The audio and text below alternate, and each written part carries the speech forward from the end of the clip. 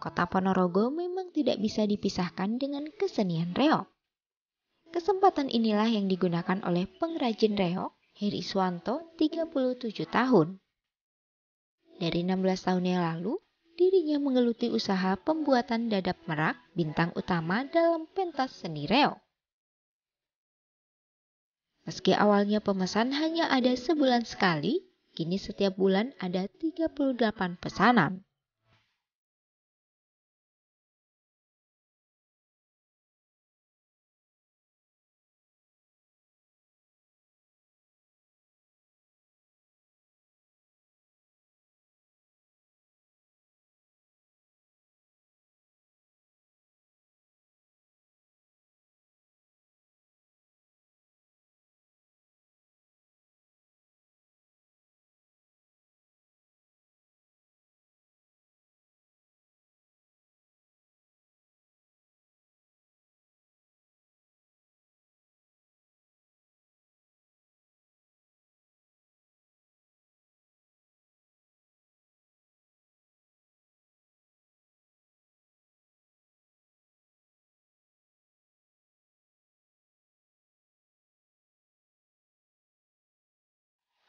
Usahanya ini pun dibantu oleh 18 orang karyawan.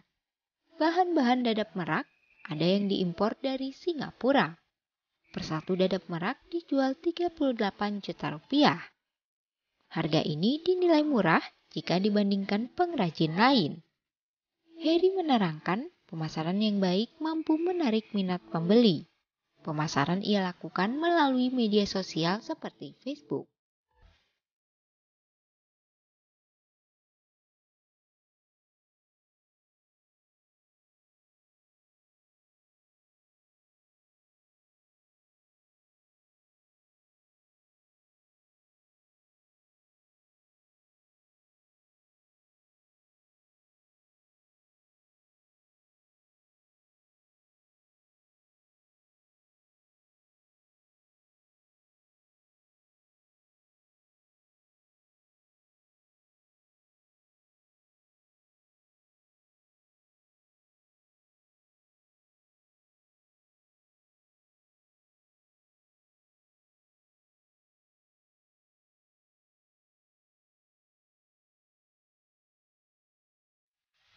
Heri yang juga memiliki sanggar di Jalan Manggis nomor 34A Kecamatan Keniten Ponorogo ini tengah mengerjakan pesanan dari dari beberapa sekolah dan Yonif 037 Riau. Selain menjual dadap merak utuh, Heri juga menjual dan memasok bahan-bahan pembuatan dadap merak kepada pengrajin lainnya.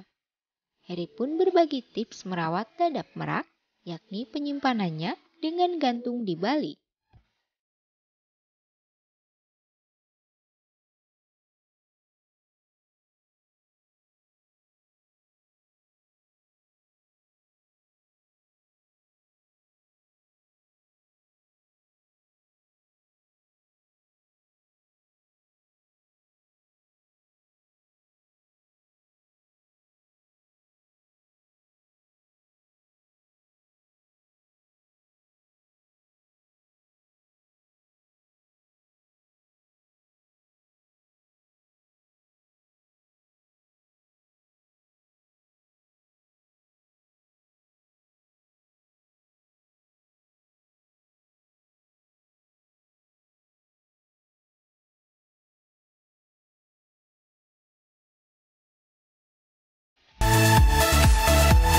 Jangan lupa ditutup dengan plastik rapat dan jangan dijemur terlalu lama karena bulu merak bisa berubah menjadi hitam.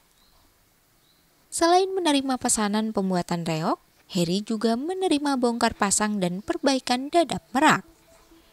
Semua hal yang berkaitan dengan reok, Heri ingin menggelutinya dengan tekun karena menurutnya reok merupakan karya seni yang tidak ternilai. Dari hasil jeripayahnya ini, Harry mampu mengantongi 50 juta rupiah tiap bulan. Pendapatan dikalkulasi tidak hanya dadap merak, tapi juga memasok souvenir dan jasa perbaikan.